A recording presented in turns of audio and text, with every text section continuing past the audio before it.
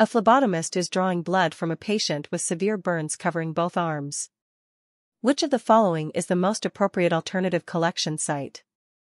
A. Back of the hand using a winged infusion set. B. The ankle, since it offers large veins.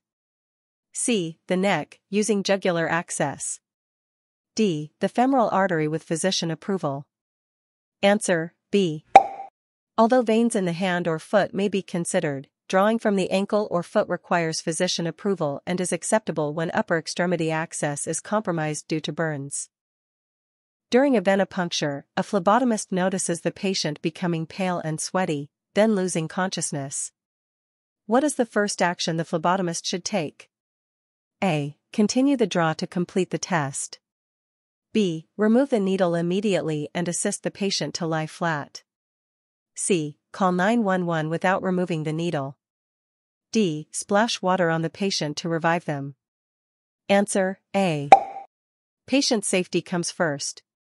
When a patient faints, the needle must be removed immediately, and the phlebotomist should prevent injury while monitoring the patient's condition. Which of the following errors is most likely to occur if a blood specimen for coagulation studies is underfilled in the collection tube?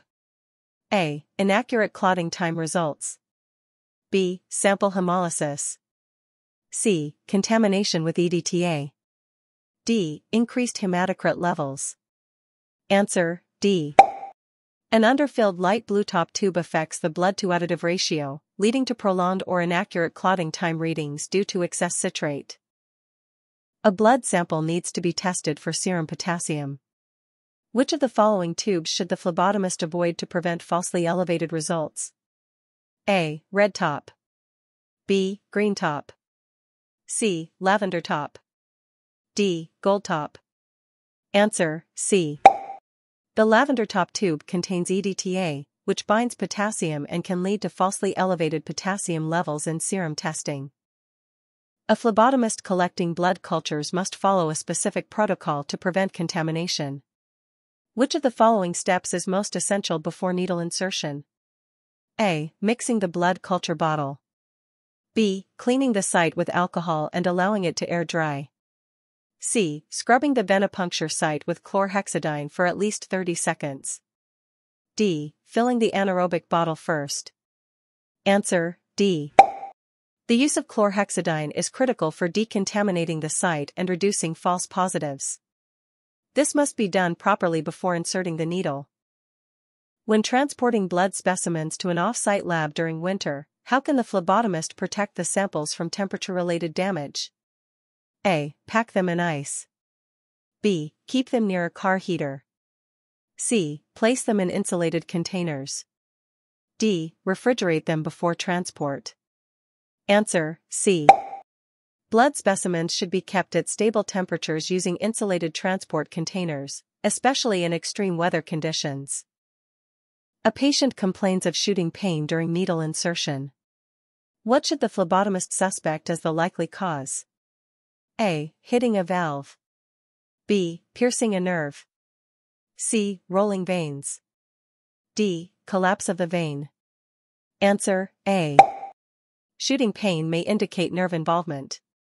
The phlebotomist should stop the draw immediately and document the incident. Which of the following actions would most likely result in hemoconcentration during a venipuncture procedure? A. Using a tourniquet for more than one minute. B. Not cleansing the site properly. C. Using a large gauge needle.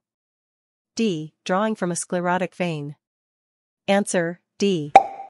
Prolonged tourniquet application causes plasma to leak into tissues, concentrating cellular elements in the blood sample. For which patient condition would capillary collection be contraindicated? A. Anemia. B. Edematous fingers. C. Severe dehydration. D. Neonatal jaundice. Answer B. Swollen tissue, edema, may dilute capillary blood samples, leading to inaccurate test results. If a phlebotomist receives a request to collect a fasting blood glucose sample and the patient has eaten, what is the correct next step? A. Collect the sample anyway. B. Wait two hours and then collect. C. Reschedule and document the patient was non-fasting. D. Ask the patient to lie about their fasting status.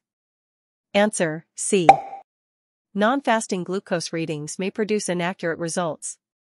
It's essential to follow protocol and reschedule if needed. What is the primary purpose of using a discard tube before collecting a coagulation sample from a butterfly needle? A. To test the needle's patency. B. To ensure the vacuum is intact. C. To eliminate air in the tubing. D. To prevent tissue contamination. Answer C. Air in the tubing may affect the sample volume, especially in light blue top tubes for coagulation studies. Which additive interferes most with calcium testing if used inappropriately? A. Heparin. B. Citrate. C. EDTA. D. Thrombin. Answer D. EDTA binds calcium and can falsely lower calcium levels in blood samples. Which of the following samples require strict time tracking from collection to testing due to its short stability window? A. Glucose. B. Ammonia. C. Creatinine. D. Cholesterol. Answer B. Ammonia levels change rapidly after collection, and samples must be transported on ice and tested quickly. When is the best time to label a blood collection tube? A. Before the draw. B. During the draw. C. Immediately after the draw, in front of the patient. D. When placing it on the lab tray. Answer A. Tubes must be labeled after the draw but in the presence of the patient to avoid identification errors. If a patient refuses a blood draw after giving verbal consent, the phlebotomist should a. Proceed with the draw to avoid delay. B. Ask a coworker to restrain the patient. C. Respect the patient's wishes and document the refusal. D. Call security. Answer D. Patients have the right to refuse. The phlebotomist must respect this and document it appropriately. Which action below would likely lead to erroneous results in a blood alcohol test collection? A. Using a non-alcohol antiseptic to clean the site. B. Collecting the sample in a gray top tube. C. Drawing from a vein with visible scarring. D. Cleaning the site with an alcohol pad before collection. Answer A. Using an alcohol pad before collecting for a blood alcohol test can contaminate the sample and produce false results. A non-alcohol antiseptic like chlorhexidine should be used instead. What is the main purpose of inverting tubes containing additives after collection? A. To mix blood cells evenly for accurate clotting. B. To activate the vacuum for additional draws. C. To prevent clot formation or ensure proper mixing with anticoagulants. D. To cool the sample and preserve stability. Answer D. Inverting the tube ensures the blood mixes with additives such as anticoagulants, preventing clotting or preserving sample integrity depending on the test. Which of the following would most likely cause a falsely elevated white blood cell, WBC, count? A. Shaking the tube vigorously after collection. B. Using a tourniquet for under 60 seconds. C. Collecting a fasting sample. D. Using a needle too small. Answer, C. Shaking causes hemolysis, which may interfere with cell counts. However, leukocytosis, elevated WBC, can result from stress or contamination, not proper technique. Why is it important to collect blood culture specimens from two different sites? A. To satisfy insurance billing policies. B. To compare results across time zones. C. To confirm or rule out contamination by skin flora. D. To ensure better mixing in the culture bottles. Answer A. Drawing from two sites ensures any growth detected is not due to skin flora contamination and provides a more accurate diagnosis of bacteremia. When drawing blood from a patient with a PICC line or central venous catheter, what should the phlebotomist do? A. Always draw from the opposite arm. B. Ask the patient to use the line themselves. C. Contact nursing staff and never attempt collection independently. D. Proceed as normal but use a smaller needle. Answer D. PICC lines should only be accessed by specially trained personnel, e.g., nurses. Phlebotomists should never draw from a line unless permitted and trained. Which of the following situations requires immediate discontinuation of a venipuncture procedure? A. Slight bruising near the puncture site. B. The patient states they feel faint and are sweating. C. Slow blood flow into the tube. D. Mild tingling in the arm. Answer B. Fainting or presyncope symptoms demand that the procedure be stopped immediately to avoid patient injury. What is the correct order of draw when using a multi-tube collection for coagulation, CBC, and glucose testing? A. Lavender, light blue, gray. B. Light blue, lavender, gray. C. Gray, lavender, light blue. D. Lavender, gray, light blue. Answer A. The correct order of draw is light blue, coagulation, lavender, CBC, and gray, glucose with antiglycolytic additive. This avoids cross-contamination of additives. What can occur if a tourniquet is applied too tightly or left on too long? A. Increased accuracy in analyte measurement. B. Hemoconcentration leading to false elevations in analytes. C. Decreased blood flow, causing erroneous pulse readings.